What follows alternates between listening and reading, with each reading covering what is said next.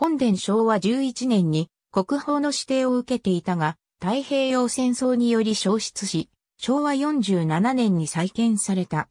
社務所脇から見上げた拝殿末吉宮末吉宮は、沖縄県那覇市首里末吉町の末吉公園内に、ある神社で、琉球パッシャの一つ。旧社格は無格社。主催神として、以下の熊野権現を祀っている。また、別鎮祭として、以下の神を祀っている。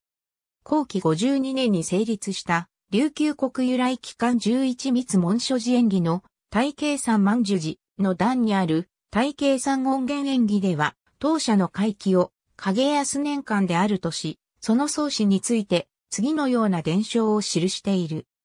琉球王国の第六代国王、小安久王のよ、天海寺の前住職であった国王王将が壮年の頃に和国で修行していた際、熊野の方に向かって、もし私が学童の修行を成就したなら、帰国して本意の後、熊野へ参詣いたしますと誓っていった。やがて学童修行は成就し、帰国して十字となったことから、請願を果たすべく小安久王に、暇恋を願い出たが、王はこれを許さなかった。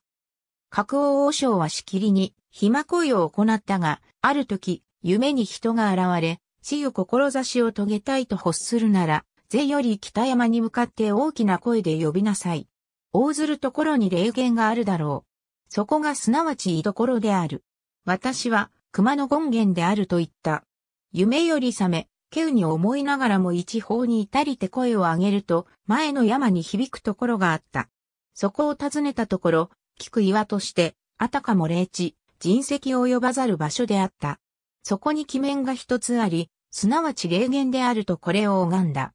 このことを、王殿にそうしたところ、王も、また霊夢を見たことから、この出来事が意味なきことではないだろうと、大臣等に見こと乗りし、この地に大社を建立した。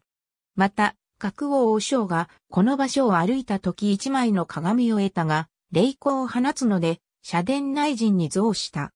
上記伝承は、慶安元年に初版が改版された、琉球新東機関第5の松光権現寺にも、ほぼ同様の内容が記載されている。琉球国由来記に記述されている万寿寺は、真言宗八工寺の一つとされた、当社別当寺であったが、琉球宗教史の研究では、当社建立と同時に、万寿寺も建立されたのではないかと推測している。当社は、感謝のせいにより、琉球パッシャとされた。感謝へは、王府から、神職の薬法並びに永前費が支給されたが、当社へは、神職として、ハフリベ、ないし、宮銅が置かれた。また、ハフリベ、ないしが、神楽の際に着用する服装はすべて王府の自社座から支給を受けた。明治時代に入り、琉球処分により、琉球王国が廃され、沖縄県が置かれると、当社は近代社格制度により無格者とされた。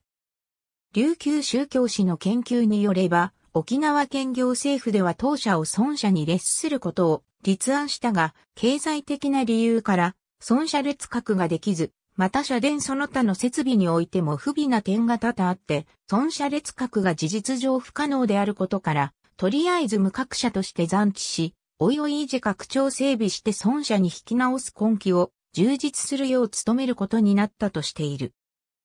さらに、琉球宗教史の研究によれば、当時地元の民衆と信仰的に直接結合していたのは、御嶽廃所であり、無格者となり、日本政府の経済的保障がなかった当社は、その後経済的にも、信仰的にも見るに耐えない無残な状態を呈することとなり、昭和14年の沖縄県振興事業による復興計画に取り上げられた時には、明治末期頃まで残地していた拝殿は失せ、沖宮とともに昭和11年国宝の指定を受けていた三軒車流れ作りの本殿も屋根瓦はほとんど落ち、味方たるきのうち2方が失せ、全体的に普及荒廃している状況であった。